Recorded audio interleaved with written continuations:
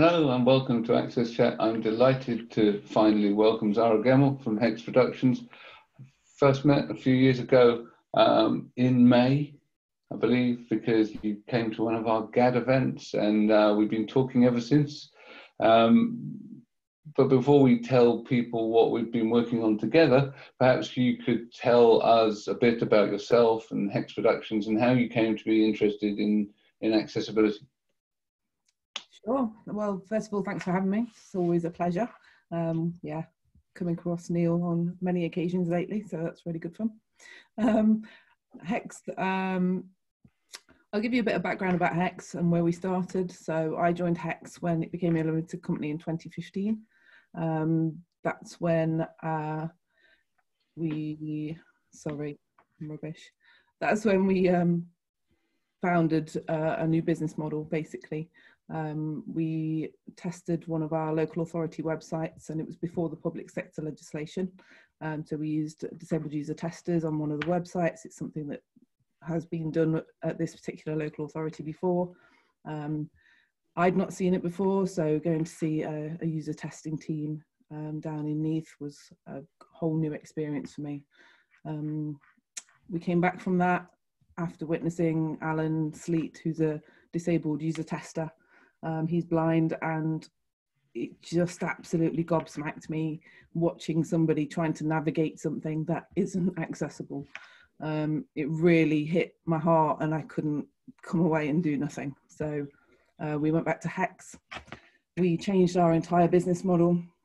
We looked at all of the websites that we host and maintain and we changed everything. We changed all of the code uh, to bring it up to accessibility standards, and we did that for free for all of our clients. Uh, it was important to us because I couldn't I couldn't not come away from that without having changed something. So from then on, it was kind of the, the way forward. Uh, we looked at um, organisations that were doing it. We looked to get involved where we could, and that's where we sprung upon uh, Accessibility London. So we started going down to Accessibility London, uh, met Alistair Duggin from the Government Digital Services. Uh, he invited us along to the Home Office roundtable events that were uh, responsible for turning the EU law into the UK law for the public sector legislation. Um, and that just spurred us on even more. You know, being involved with something from the beginning was really quite um, amazing.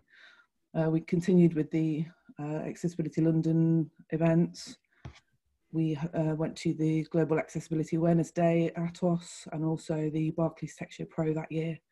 Uh, just to be in the environment of people that care, know, and want to do something about it was really quite amazing.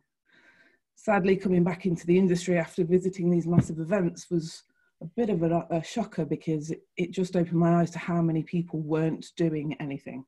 You know, there was no awareness people didn't understand what accessibility was, let alone how to implement it. So it really dawned on me the amount of effort it was going to take to raise the awareness of what accessibility means.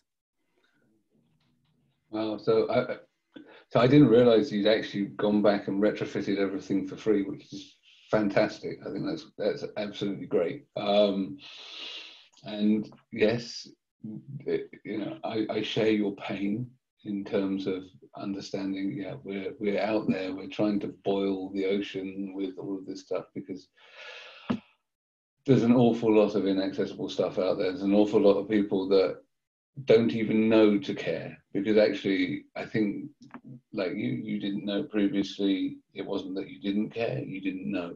Um, i think there's a lot of the people just don't know. We don't teach it.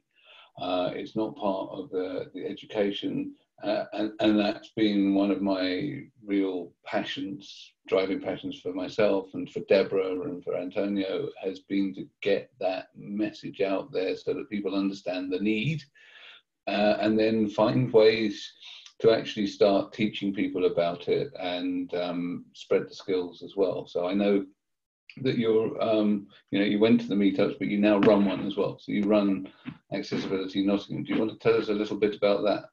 Yeah, sure. So on the back of uh, Global Accessibility Awareness Day and coming down to Atos and and realizing that there's only one meetup in the entire UK, which is in London, um, it was nonsensical really to not try and reproduce that in the Midlands. Um, there has since been a few more pop up, which was really, really good to see. But uh, we piloted Accessibility Nottingham in 2018.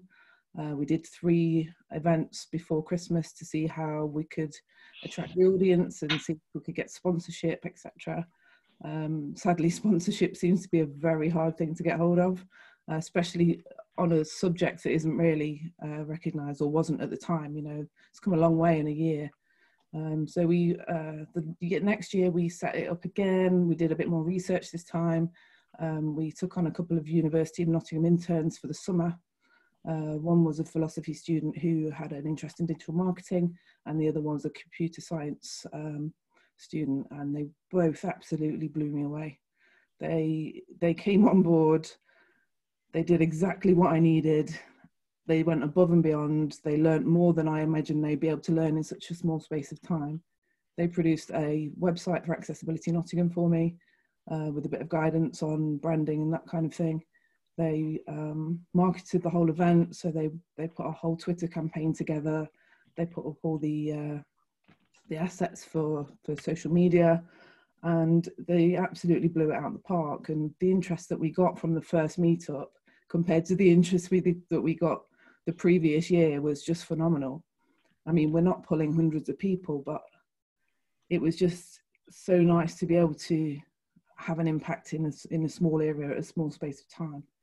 Um, we want it to be a, we don't want it to be a tech event. We wanted it to be a community event. So the whole point was to mix and mingle disabled people because I think there's a real sense of not knowing what to do with a disabled person, no matter what their disability. It's the kind of, well, I can't go and talk to that person. Well, why, why not? It's a human being. Just interact, talk.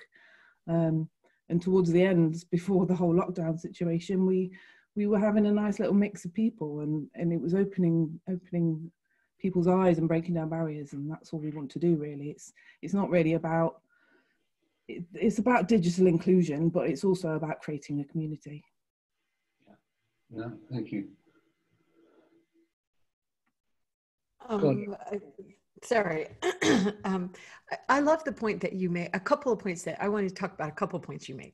So one of the point I love is that how this experience with another human being just touched you to your core and it changed your life, it changed your purpose. Um, or maybe you found your purpose. I, I think that's one thing that a lot of us share in the accessibility and the inclusion industry. It's like we're just so passionate about it for so many different reasons. And it's it's lovely as it continues to be bigger and bigger and bigger reasons. Some of us joined it because they were a parent of a child with a disability. Some of us joined it because we had disabilities ourselves or we were touched by it. But more and more we see people joining because they they look at it and they're like, well, oh, well, why would I not want to design things that included everyone? It, it just makes so much sense. So I loved that part of your story. I also thought it was interesting and I applaud you for doing making all those changes for free. I applaud that, but at the same time I hate that you have to do it for free like that. I I have spent a lot of time and we have on AXSChat talking about how we're going to have to do a better job certainly in the from now on um, appreciating the work that people are doing for social good things that really impact us in positive ways. And what we're learning through this covid-19 virus is that people that maybe we didn't realize added as much value to society are on our front lines adding the most value to society and actually in some cases giving up their lives. So i'm hoping that humanity will not forget the lessons we're going to learn during these times but it just feels like your story is so relevant to what we're walking right now in the world. So i have to i knew i loved you the second you joined with that beautiful hair but i just really really applaud you know all the work you are doing because this is how you change the world. This is how you do it. So yeah and and y'all, y'all been yeah. Well and y'all been doing these meetups in person and virtually is that right? Uh, it's just been person at the moment. Okay. Obviously, we're going to have to switch to a virtual environment at the moment, but right. we're also taking away from the fact that I was speaking to uh, Martin Sibley the other day. Um, he's just launched Purple Goat Agency. Um, and he said, well, you really should do it online as well as on on a physical standpoint if you can in the future. And uh, it's not really something that I consider doing. We have been videoing the meetups, but I'd not really thought about casting them Um, and I think he said you're going to reach a wider audience that way, and it just makes sense, doesn't it? Really, but the whole point was to try and to make a community out of it as well. But the, the both will come hand in hand, I'm sure.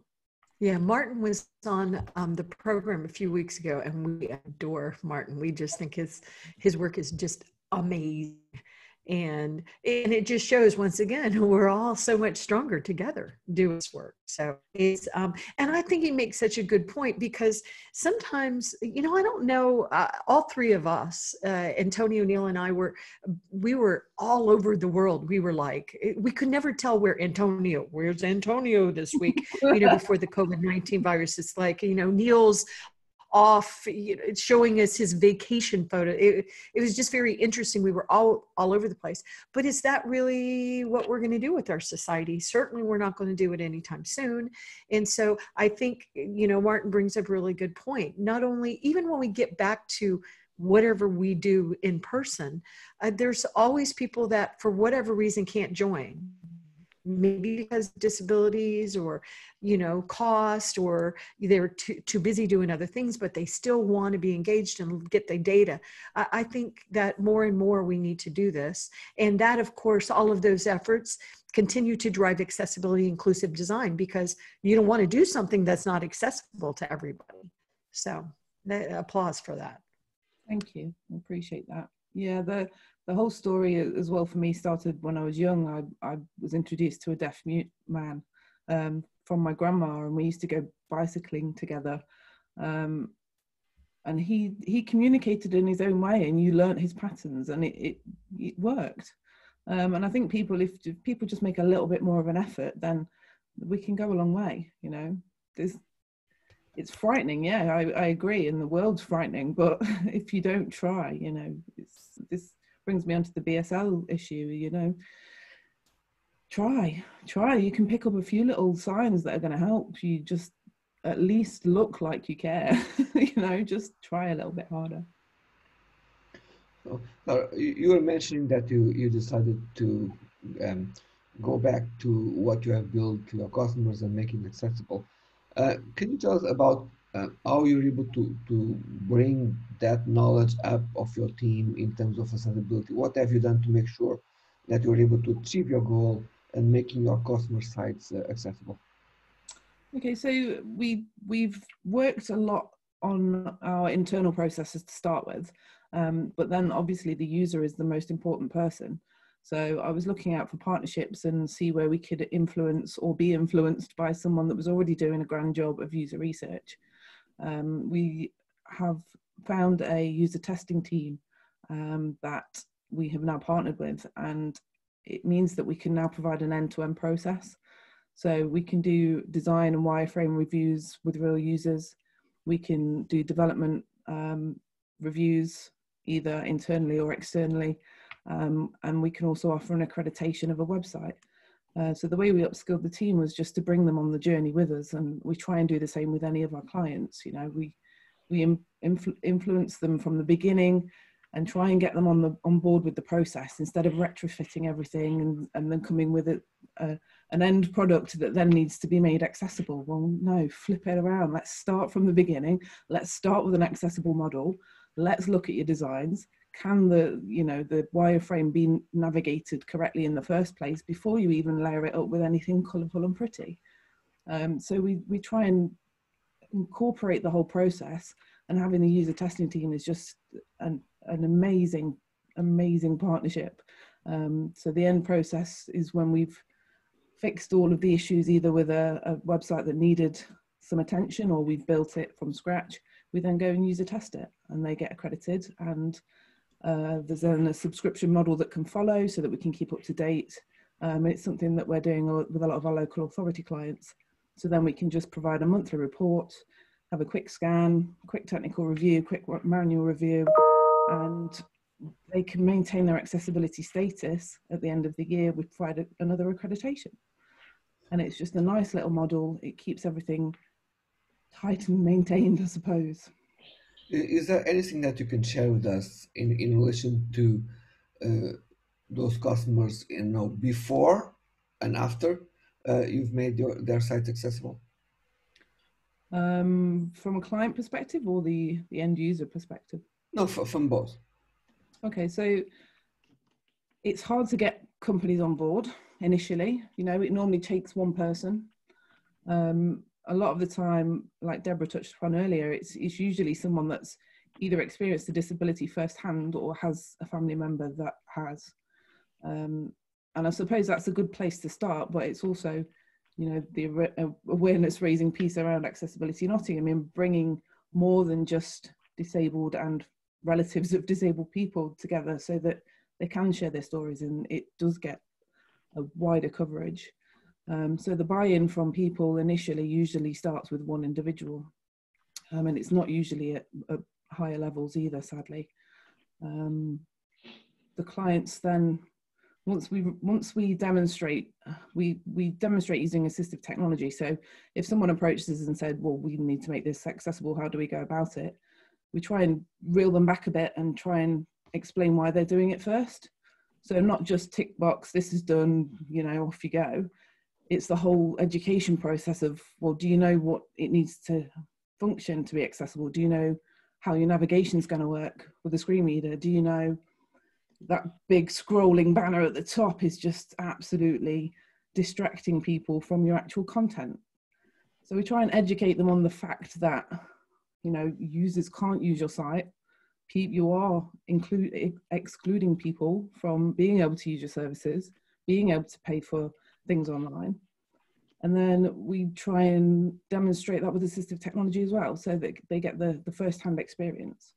And that usually wins them over, you know, it usually makes them reconsider what they're doing and how they're promoting information. Um, and hopefully at the end of that, you know, the customer comes out with a, a better um, outcome. When we speak to Alan, his, his um, what's the word? His example of a, a poor customer service or customer journey is the fact that if he wants to go and buy a pair of trousers online, if a product isn't described in the description very well or you can't see it because obviously he's blind if he can't see the fabric he doesn't know how it's going to feel if he can't see um, the price sometimes if it's not labeled correctly you can't even see the price. And then there's a whole issue around the um, checkout system so a lot of uh, companies will show a little basket with how many items you've got in the basket but if that's not read out to a screen reader he doesn't know if it's added to the basket or not um, he doesn't know what the values of in the basket.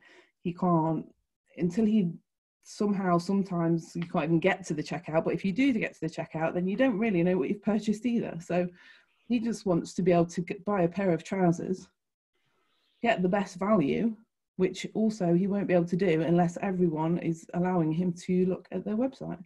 So he's restricted with with the the products that he can buy just because the website isn't accessible. Uh, and and you know we all we all need trousers. As, we all need trousers. As has been discussed already on this call, um, but uh, it's it's a it's a very valid point, and and I think that it's not just about you know the equity and the access. If you were to go into a physical store and an assistant said, "Oh well, I can't show you the trousers," I'm not going to tell you how much it's going to cost. And, you know, maybe you'll get some, maybe you won't. That's rude. That's really bad customer service. And, you know, what, cus- what company really wants to be rude to their customers? What, you know, well, I mean, there's a f- few I've been in that actually make a business model of it, but um, but they're few and far between. And and and it essentially, yeah, being inaccessible uh, whether that be technically inaccessible because you don't work with assistive tech or you know cognitively inaccessible because you've designed stuff with dark patterns or you are hiding things and making it really difficult for people is equally rude it's also you know it's it's it's damaging to their own business because a business where where you know your, your front of house are rude to your customers isn't likely to be a business that's going to stick around for a long time.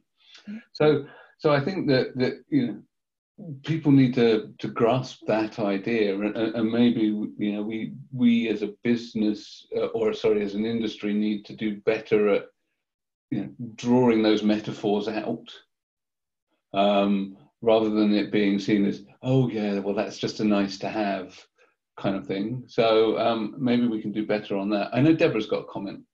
Debra you know I, yeah. looking for looking for i always am trying to look from the lens of a global lens. And then of course um at my beautiful little country here united states. But i um i'm worried i'm worried that during all these crises that um, we'll actually go backwards. And i know that there's a lot of confidence in the accessibility field here in the united states that um, everybody gets it now and if you don't do it we're going to keep suing you and all that. But it just feels like that isn't really the right way to keep moving this forward. And you know certainly from the states and from others. And i am curious you know really from all of you you know how do we really move forward? How because I remember during the financial crisis of 08 and 09, I went and I did a presentation for a government official in one of our states.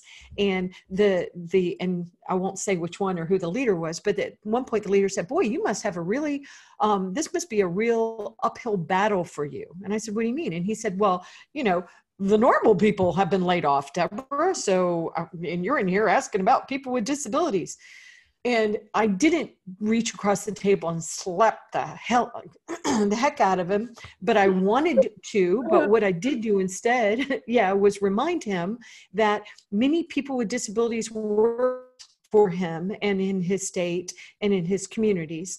And um, just because you didn't see them and just because they weren't telling you they needed accommodations to be more productive, didn't mean that they weren't already in the workforce. So I reminded him this was not just about people entering the workforce, this is about us staying in the workforce, staying part of society. So I um, I think it's going to take innovation, and I think it's really going to take you know we've got to look at what each other are doing and help. But I mean, what are what are y'all seeing? What are you what would you recommend to the accessibility industry that watches us, that watches these shows? You know how. You know, I think some of the stuff you're already doing definitely helps, but I'm also curious, Antonio Neil, what your comments are. But let me give it to our gorgeous guests first. So, bless you. It's Neil and Antonio, that's not you. just kidding. Just kidding. Sorry, I'm kidding. I only I only came in on the guest part, so we'll hand over. Um, a similar story, really. We um, we were working with a or hoping to work with. It didn't come about, but um, a cinema theatre um, production stroke organization um, and we were talking about uh, making their website accessible first of all, uh, the ticketing system, their booking system, that kind of thing. Um, and then we moved on because they also have an education angle to their establishment. Um, and we were talking about videos, and um, obviously captioning is a challenge to some, but also an easy option to others. And then I was talking about all about British Sign Language, and he was like, "Yeah, but it's really expensive to uh, procure interpretation for for all of the stuff that we produce. He said it'd be really handy though and it'd be really nice to be able to offer that. And i said you ever actually considered employing a deaf person to do that with you? And the look of sheer elation on his face was i'd never even thought of that. And it was i'm absolutely gobsmacked that he thought he'd just have to buy in that service, not thought about investing in a person to bring into the organization. And it absolutely gobsmacked me. So I think in answer to that question is to to employ a wider range of of people have the the skills within the organization instead of thinking well we'll go out to a user group and they'll tell us what we need to know and we'll do some disability research and just hire people hire a, a range of abilities and you'll have everything that you need in house. You won't have to pay out for extra resources to do extra research on users. Mm. Wow. Excellent points. Neil? Uh, it's, it's, it's, it's, a really good point. Um, I do think that a lot of businesses are just in the mindset that you procure services, yeah. um, and that. Um, that that's that's the way they go. So it's it's not even an ableist mindset. It's not even an, an unconscious bias necessarily. It's they they've they've stopped thinking about hiring people a lot of the time for for certain things, even though you know having uh, an employee might be cheaper um, because we've we've structured our economies here in in in the West and particularly in the uh, sort of anglophone West. Um, by outsourcing everything. Um, and, and I think that one of the big disruptions we're going to see uh, uh and are seeing right now with COVID 19 is the fact that actually that's not been great for our supply chains or our resilience or our ability to cope with anything. Um, because just in time doesn't work when the world is shut down and that your supplies uh, half a world away in a country you're busy insulting uh, or, or, or, closer in the case of the UK, because we like to insult our close neighbours. You know? um, so, getting a little political here, but essentially, I think that that we will have to look at new models. We will have to look at more community-driven uh, models.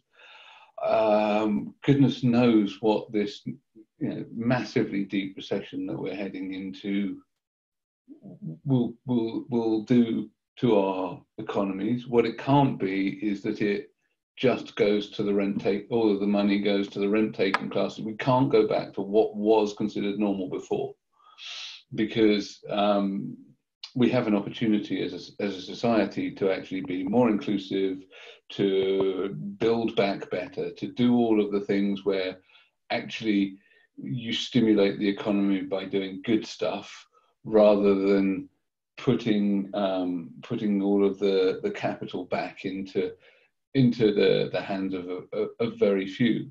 So so I do think that we we have an opportunity, but I I also think that it is only an opportunity. It's not a dead cert. There is a real risk. The, the the stimulus packages are all going to flow directly to share buybacks and to you know equity funds and not you know flow down to the small businesses and the the little companies that are doing great stuff that or or looking at ways of supporting individuals through uh, you know uh, universal basic income which again i actually now think is perfectly viable mm-hmm. because if we can spend billions and billions and billions on supporting everybody's wages through furlough schemes we could equally afford to do this in the longer term and create a much more flexible and creative economy that can cope with all of the other stuff that's going to come, not just the diseases, not just the age related disabilities, not just the fact that we're all going to have to care for those people, because it's not just about you know, accessibility, but we've got this inverted pyramid right now. So we're going to have lots and lots of older people uh, we're not set up to care for them as a state. So it's going to be down to individuals. If the individuals can't do that because they've got to work all of the time, then we're going to be overburdening the state again. So we have to think about these things at a, at a strategic level, at a sort of macroeconomic level. So I think there's there's a lot that could be really, really positive, but it's on us to hold the people to mm. account. And, and, and what happens over the next few months is going to be really interesting. I, have seen lots of people go, yeah, look, look, we've shown that we can, you know, work from home now, and yes, we we we disabled people, amongst whom I count myself, um, you know, can remote work, and you you know, we've shown you that this stuff works, and we can do it, and everything else. We need to be there and in that conversation and shaping those things um, over the next few months and years to come. And I think that's one of the reasons why I'm interested in the whole education process. I know you are too, so maybe that's the last topic we'll cover today because I know I've rambled. Um, it was brilliant, I think. but I do, I really but I do think that, that I'm going to vote for you. Can no, run, I'm not please? standing for anything. Um, but um, but but the other the last thing that and, and the reason that Zara and I've been working together quite a lot is on apprenticeships. So young people building inclusive stuff. So um, so Zara, do you want to say a little bit about why you got involved in in the apprenticeships? Yeah, sure. Again, it's it's taking it back to basics. Put it into the education system. Make it an inclusive, accessible education system, not only for the people that need it physically and mentally, but to educate the ones that need the awareness, you know, and the whole that that's kind of my next focus in life is to to make universities and colleges think about not only the the students that they're taking but also the people that they can educate and influence you know? And i think sadly i think the world doesn't operate in a top down approach or a lot of organizations don't anyway. You know the leadership should be coming from the top. Um, but i think your student population is is really where it's going to start to hit. And if we can influence them at, at a young age and show what can be possible in the world, then we've got a better chance of, of making this happen. Um, virtual learning environments, you know, they're not accessible. We've been working with a, a, couple of universities on them, and it's just shocking that, that people can't even access information in the first place, let alone learn how to get along in the world and, and make it a better place. So, um, After all this time, it is shocking. It's shocking. I, I, was actually. Aren't you I, an educator? I was. I, I was. Uh, I'm in a series of groups that are supposed to support teachers in, in online. The people just decided to start using online solutions to support their uh, their students, and without any support from schools or education system. And I, I started to look at the communication for, for some of the vendors and, and sometimes I, I was coming across, across this. Reach out your uh, your IT person. Reach out your well, a school doesn't have an IT person. Uh, reach out an administrator. The school doesn't have an IT administrator. So okay. some of the vendors they are still you know thinking in kind of a they have modern tools, but they think in old IT. Okay, they're still there. They don't realize that they need to develop a solution in a way that the teacher can go set up something in a, in a couple of minutes and is running, ready to go. And then they don't have to go back to that again because they have kids to take care and they have, they have personal life. So I still see, especially in education that we're talking about, this mentality from vendors that is, is actually not matching the need uh, that the, and it could be uh, something that they could take advantage because teachers, they really want to use the tools, uh, but I think they are still overcomplicating. Yeah, and a lot of establishments are still, like you say, they're quite old-fashioned. I mean, a lot of public sector um, that we we've come across, you know, they've still got internal servers, and um, we've had a whole issue with a an inquiry recently where nobody can work from home accurately and correctly because the server is in a building and nobody can get correct access to it. It's like come on are we are we really still that far behind? So let alone the infrastructure you know that that blows my brains out but the the education system is definitely also lagging behind.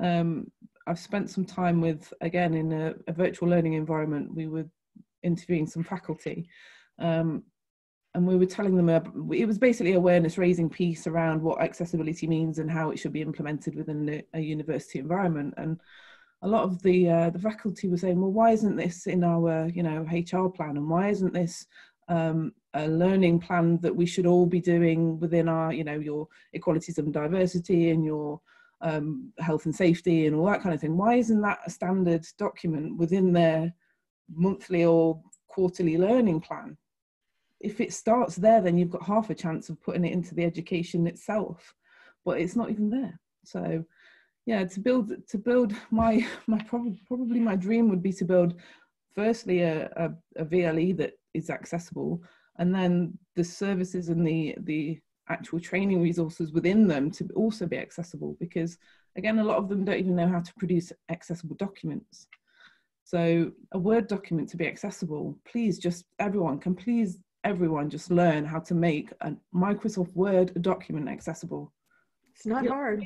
So much. It will change so much. It's not hard. It's not hard. Yeah.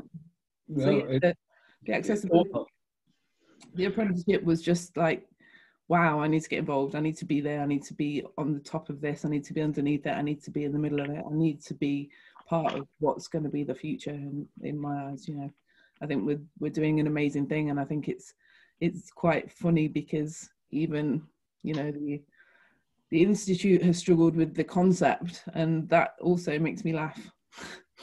um, to deliver something is also challenging them to have to think about how they deliver um, the systems and the processes that that we're working with currently, and I think that's also quite amusing.